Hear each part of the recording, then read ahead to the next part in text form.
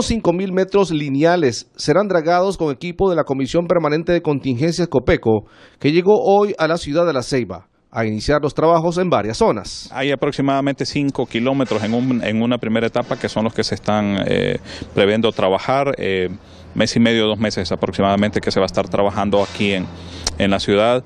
Eh, vamos a depender de cómo se comporta cuando empecemos a ver las primeras lluvias eh, para ver qué otros sitios pudiéramos ir incorporando y, ver cómo resolvemos de una vez la problemática de inundaciones aquí en la, en la ciudad de La Ceiba, por lo menos en cuanto a este tema se refiere de canalización, eh, limpieza, dragado de, de, de ríos quebradas aquí en la ciudad. Desde hace un mes se espera estos equipos pesados en la ciudad. Eh, viene una excavadora de oruga, viene una retroexcavadora y una mini excavadora. Son eh, junto con la volqueta suficientes para poder hacer el acarreo de material. Entonces esas tres máquinas van a estar en tres puntos diferentes de, ciudad y si es necesario juntar las tres en algún lugar específico porque así lo requiere eh, las condiciones del lugar, pues también se va a hacer. Ya la Comisión Permanente de Contingencias COPECO y el CODEM de esta ciudad tienen coordinados los lugares en donde se va a desarrollar el dragado. Vamos a iniciar con los trabajos del dragado de la quebrada de Adán.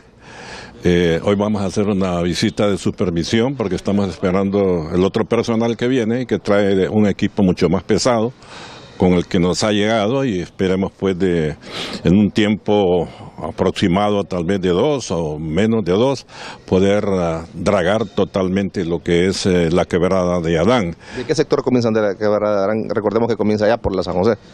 Bueno, inicialmente aquí de la CEA 13 para tratar de despejar eh, casi todo saliendo hacia la mar. Y es un trabajo que en realidad va a ser un poco pesado, pero hemos visto ahí que lo mejor es iniciar de la CEA 13 hacia la mar.